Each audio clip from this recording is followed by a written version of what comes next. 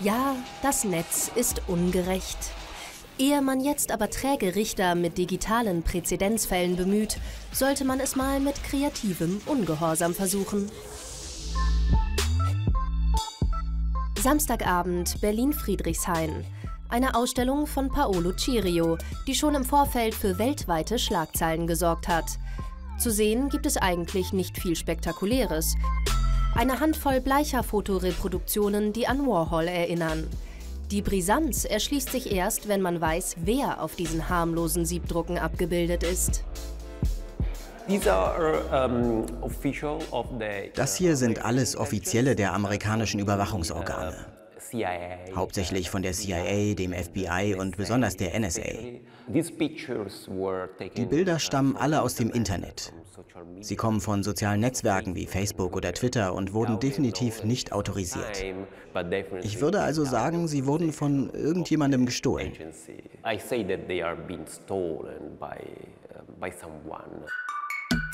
Sieht ganz danach aus. Irgendjemand hat private Selfies und Schnappschüsse von hochrangigen Geheimdienstmitarbeitern aus dem Netz geklaut und irgendwie kam Paolo Cirio in deren Besitz. Der holte zum Ausspionier Gegenschlag aus. Für sein Projekt Overexposed zog er die gehackten Privatbilder auf Leinwand.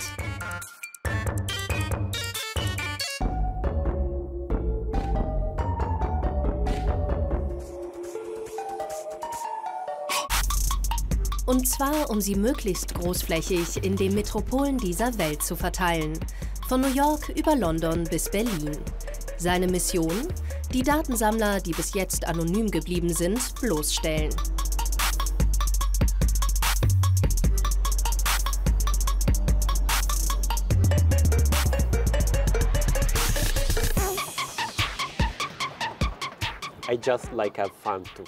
Ich finde es ziemlich lustig, mir vorzustellen, wie sie reagieren. Die werden mich wahrscheinlich nicht persönlich ansprechen, aber ich bin mir sicher, dass sie das verärgern wird. Damit haben sie bestimmt nicht gerechnet. Die lieben NSA-Mitarbeiter dürften Paolo Cirio allerdings schon eine Weile auf dem Schirm haben. Schließlich sind sie nicht die ersten Opfer seiner Guerilla-Aufdecktaktiken. Ich habe so meine Probleme, wenn es um den Schutz von Privatsphäre oder geistigem Eigentum geht. Das sind alles Dinge, die du in den sozialen Netzwerken nicht kontrollieren kannst. Man gibt da einfach alles preis und das ist überhaupt nicht gut. Wie schnell man die Kontrolle über seine Daten verlieren kann, bewies Chirio 2011. Er hackte sich in das System von Facebook und stahl per Zufallsprinzip eine Million User-Profilfotos.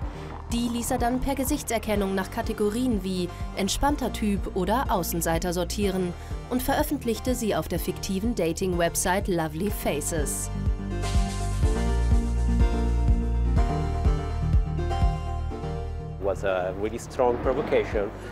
Ich wollte die Leute dazu bringen, darüber nachzudenken, wie unsicher ihre privaten Daten im Internet sind. Die meisten Leute waren ziemlich sauer, haben aber nichts kapiert. Einige wollten sogar noch mehr Bilder auf meine Dating-Website hochladen.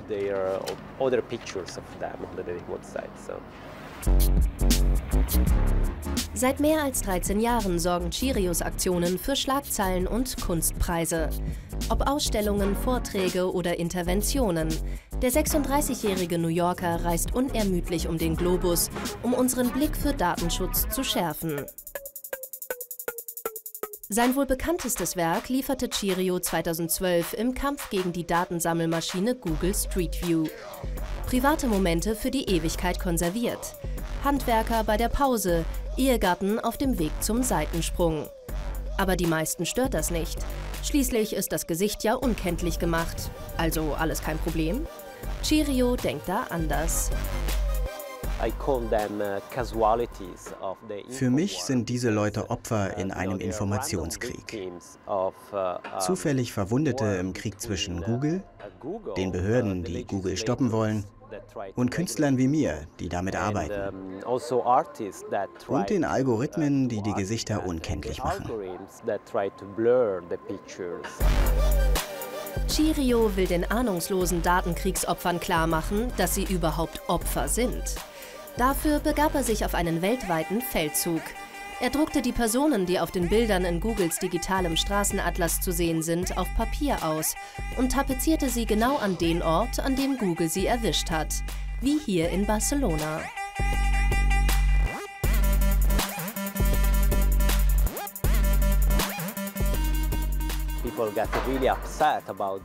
Die Menschen haben sich so richtig über meine Aktion aufgeregt. Wahrscheinlich, weil sie dachten, dass der öffentliche Raum öffentlicher sei als das Internet. Meiner Meinung nach ist das Gegenteil der Fall. Wenn etwas im Netz ist, ist es viel exponierter als irgendetwas, das man auf der Straße sieht.